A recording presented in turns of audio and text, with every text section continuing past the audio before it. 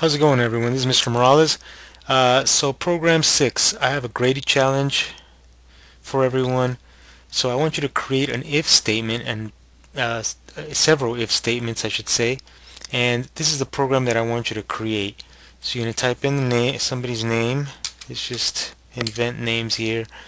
And you're going to put a score between 100 and 0 or 0 and 100 and a different message is going to come up depending on what the score is. So if it's the score is between 100 and 90 then it's an A. So you're going to get a, a, uh, a, grade of A. That's why it's grade challenge. So let's put uh, 95 submit Fez your grade is A. Excellent work. You are awesome. Fantastic. Let's clear it. Let's put um, Bob your score from now let's do a B right? Uh, 87 Bob your grade is B above average doing well. Okay and so on and so forth. Next person. 71 so we know it's a C. Okay and it shows a different message every time.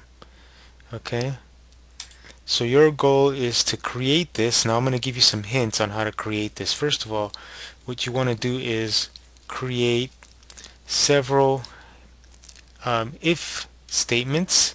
And I did a, a search on Google and let me show you.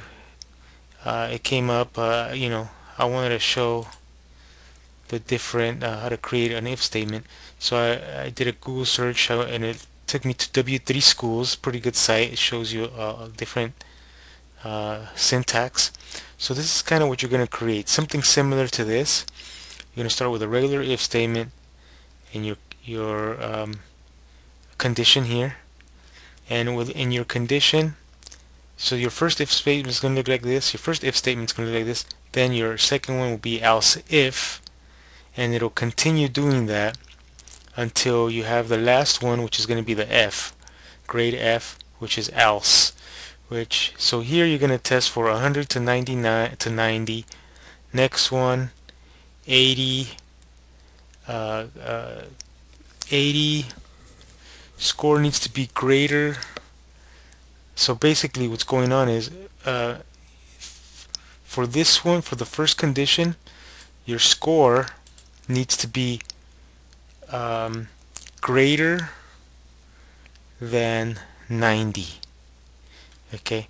This one will be a little bit more trickier because this one your score needs to be uh, greater than 80 and less than 89 so you have to have a logical operator.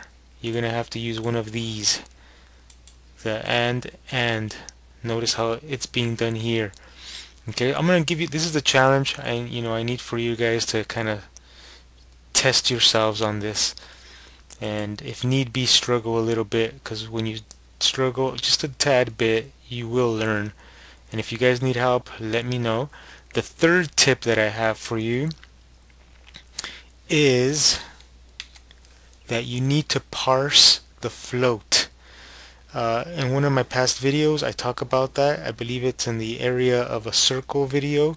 I talk about parsing a float, uh, meaning you will have to convert that string, uh, the string number into a uh, the string into a number.